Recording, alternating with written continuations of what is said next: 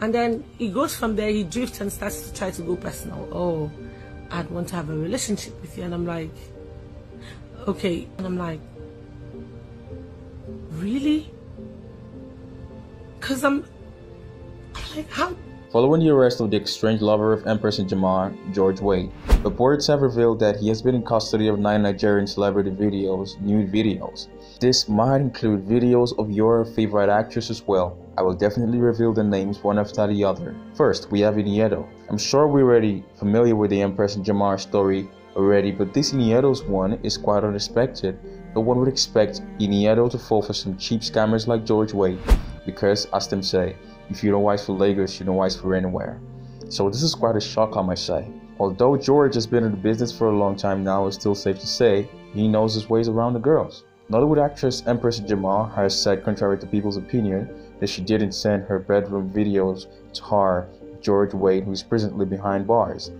According to her, he took the bedroom videos without her knowledge and used them to blackmail her. She said she never sent such videos, that he takes videos unaware to blackmail his victims.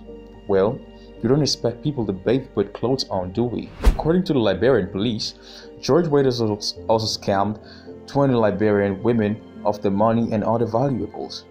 Another shocking revelation discovered from George Wade's phone is a video call he had with a famous actress Ini Edo, including her passport, in his possession.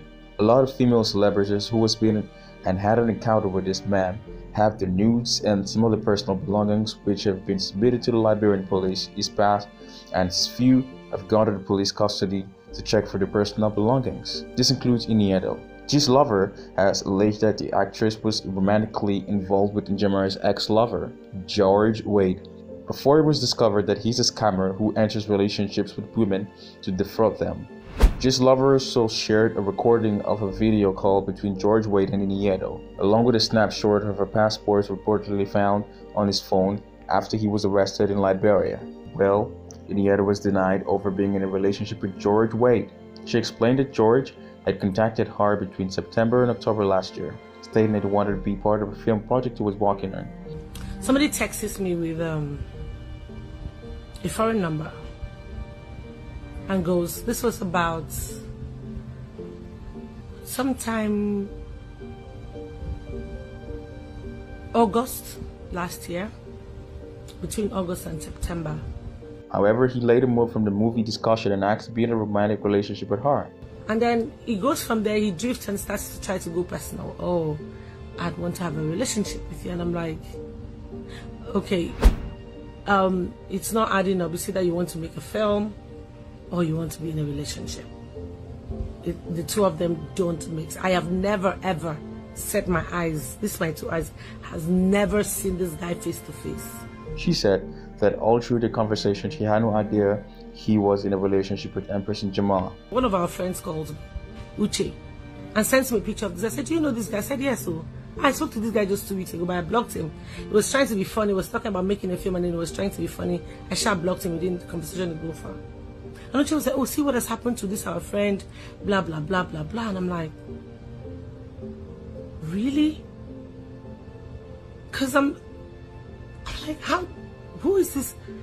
So in my heart, I'm like feeling, oh, so this guy is actually. And then I'm hearing different things. I'm hearing different things.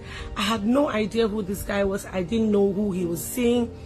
I mean, I didn't know he was seeing anyone. I didn't even know him at all. She also mentioned that George Wade asked for a passport so he could book a flight to South Africa, where she had a business engagement at the time. She sent him the passport details. They never met. But then I knew I had to go to South Africa. That's why I didn't make my friend's wedding because I had a paid engagement that I needed. I'd committed to a long time ago that I had to be in South Africa for. So he goes, okay, maybe we should see in South Africa, blah, blah, blah. Send me your passport. I get your ticket. We can talk there when we see. I'm like, I can't send you my passport. All these conversations, I forwarded them to the girl in question. She revealed that he called her once on a video call, but she ended soon as she realized it was him and she had no idea that he recorded the call and kept it. A relationship with George Wade, a romantic one. One time he called me on video call. I was at the airport going to Akwa Ibom and he just calls my phone and you know when you just pick a call, an international, I just pick a random call because I never saved his number. The rumors as false and revealed that she eventually blocked him when she realized he was getting personal and had no movie project for her, as he claimed when they started talking. I spoke to this guy just two weeks ago, but I blocked him. He was trying to be funny. He was talking about making a film and he was trying to be funny. I sharp blocked him within the conversation to go far. Thank you for watching. Remember to like and subscribe so I'll keep you updated.